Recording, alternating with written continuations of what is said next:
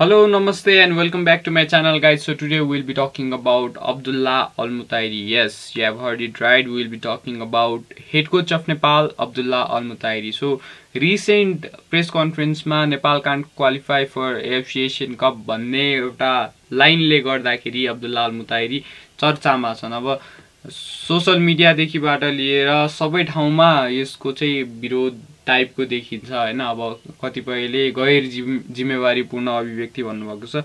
So यसको बारेमा कुरा गर्नेछौँ आज हामी without wasting any time let's get started फर्स्टमा तपाईँहरूको थट्स कमेन्टमा लेख्न नबिर्सिनु होला च्यानललाई सब्सक्राइब र भिडियोलाई लाइक गर्न नबिर्सिनु होला र फर्स्टमा म सबैले यो गैर जिम्मेवारीपूर्ण अभिव्यक्ति भनेर भन्ने मान्छेलाई चाहिँ फर्स्ट मेरो एउटा क्वेसन के छ भने ग्रासरुट नहुँदाखेरि इन्फ्रास्ट्रक्चर नहुँदाखेरि प्लेयरहरूले इन्टरनेसनल गेम खेल्न नपाउँदाखेरिको टाइममा या भनौँ साफ च्याम्पियनसिप यत्रो टाइम भइसक्यो खेलिसकेको भए पनि अहिलेसम्म नेपाली फुटबलको जुन पछिल्लो टाइम हेर्ने हो भने हिस्ट्रीदेखिबाट अहिलेसम्म हेर्ने हो भने अहिलेसम्मको प्रोग्रेस हेरेर किन जज गर्न सक्नु भएन? कसैले पनि किन क्वेसन गर्न सक्नु भएन कि? हामी अझै पनि यही स्तरमा किन छौँ? र इफ यु रिमेम्बर हामी AFC Asian cup third round qualification first time खेल्दैछौँ I guess अब जतिसम्म मलाई थाहा छ त्यो अनुसार एफसी कपको थर्ड राउन्ड क्वालिफिकेसन हामी फर्स्ट टाइम खेल्दैछौँ। र वर्ल्ड कप क्वालिफायर्सको कुरा गर्दाखेरि ट्वेन्टी एटिनमा इफ यु रिमेम्बर हामी सेकेन्ड राउन्डसम्म पनि क्वालिफाई गर्न सकेको थिएनौँ।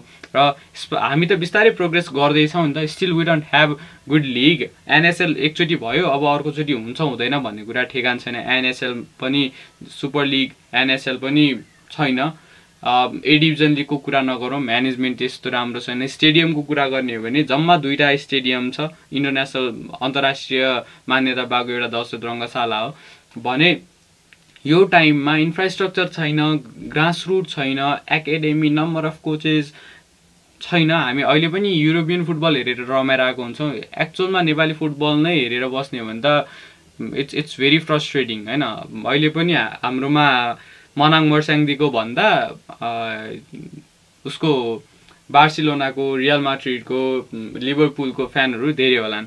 र नेसनल टिमको कुरा गर्नु पर्दाखेरि वर्ल्ड कप आउने बित्तिकै we like start saying Argentina Brazil Portugal so यस्तो छ हाम्रो लेभल यो लेभलमा हामी छौँ र वर्ल्ड कप कहिले खेल्छौँ भनेर भन्दाखेरि सायद टु थाउजन्ड एन्ड एटिन पछाडि या भनौँ अब्दुल्ला अल्मुताइरीले आएर अलिकति मोटिभेटिङ टाइपको स्पिचहरू नदिएको भइदियो भए अहिलेसम्म हामी वर्ल्ड कप नेपालले कहाँ खेल्न सक्छ भनेर त्यो ड्रिम पनि गर्न सक्दैनौँ। Now people have started saying दुई हजार तिससम्म त राम्रो गऱ्यो भने त खेल्न सक्छ अरे नि त। जस्ट बिकज रिसेन्ट इन्टरभ्यूमा दस वर्षमा नेपालले वर्ल्ड कप खेल्न सक्छ। Abdullah Almutairi said that so किन चाहिँ भने त अब्दुल्ला अल्मुताइरले एफसी एसियन कपमा क्वालिफाई गर्न सक्दैन।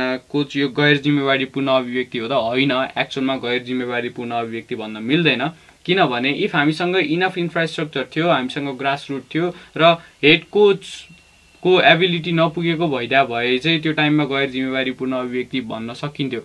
छनै केही छैन अनि जस्ट एक्सपेक्टेसन मात्र राखेपछि त अभियसली त्यो फ्रस्ट्रेटिङ हुन्छ नै र नेपाली नेपाली फुटबल इफ तपाईँहरूले फलो गर्नुहुन्छ युट्युबमा हेर्नुहुन्छ या कुनै पनि सोसल प्लेटफर्ममा हेर्नुहुन्छ भने इफ नेपाली प्लेयरले नराम्रो गरेको छ भने चाहिँ त्यहाँ हेड स्पिच हुन्छ हुन्छ त्यहाँ हेड कमेन्टहरू आउँछ आउँछ। त्यसले प्लेयरलाई डिमोटिभेट गर्छ करेज प्लेयरको कन्फिडेन्स लेभल डाउन गर्छ भनेर आई थिङ्क अब्दुल्ला अलमुदाईले चाहिँ प्लेयरहरूको कन्फिडेन्स लेभल डाउन नहोस् उनीहरूको करेज बिल्डअप गर्नको लागि चाहिँ यो टाइपको स्पिच दिनुभयो जस्तो मलाई लाग्छ र इफ अब्दुल्ला अलमुताइरीलाई तपाईँहरूले फलो गरिरहनु भएको छ भने अब्दुल्ला अलमुताइरीको फर्स्ट प्रायोरिटी भनेकै प्लेयरहरूको मेन्टल स्ट्रेन्थलाई बिल्डअप गर्ने र मेन्टल्ली प्लेयरहरूलाई स्टेबल बनाउने हो so that they can fight in international level that's the reality so Abdullah अलमुताइरले maintain गरेर गर्न ट्राई गरेको जस्तो लाग्यो मलाई त्यो Nepal can't qualify for AFC Asian cup भनेर र रियालिटी पनि भनेको हो काहीँ न काहीँ त्यसमा रियालिटी लुकेको छ। हामीसँग होइन हाम्रो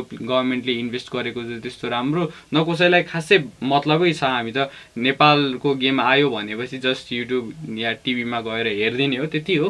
अब त्योभन्दा अरू त छैन। इफ ए लिगको कुरा गर्नुहुन्छ र तपाईँहरूले त्यहाँ स्टेडियम प्याक भएको हेर्नुहुन्छ भने कति नै थियो र त्यहाँ स्टेडियममा गएर हेर्ने मान्छे त धेरै थिएन कुनै कुनै गेममा अलिकति स्टेडियम फुल थियो नत्र भने त थिएन। सो रियालिटी भनेको हामीसँग राम्रो इन्फ्रास्ट्रक्चर छैन ग्रास रुट छैन या भनौँ हामीसँग केही नै पनि छैन but still our players are working hard our coach is are working hard so सबै गभर्मेन्ट अफिसियलको ध्यान आएर राम्रो इन्भेस्टमेन्ट भएर राम्रोसँग इफ गभर्मेन्टले एफर्ट राम्रो लगाउने हो र हामी साँच्ची नै फुटबलमा प्रोग्रेस गर्छौँ भनेर इन्भेस्ट गर्ने भने के होला? नत्र भने आई डोन्ट थिङ्क रियालिटी भन्दाखेरि यसलाई चाहिँ हेट स्पिच या भनौँ यो चाहिँ डिस्करेजिङ या गैर जिम्मेवारीपूर्ण अभिव्यक्ति हो अब्दुल्ला अलमुतारी गर्न कसैलाई पनि दोष दिन मिल्ने अवस्थामा हामी कोही पनि छौँ जस्तो चाहिँ मलाई लाग्दैन। सो सबैको आफ्नो आफ्नो पर्सेप्सन हुन्छ आफ्नो आफ्नो पोइन्ट अफ भ्यू हुन्छ। सो आजको लागि भने भिडियो यति नै।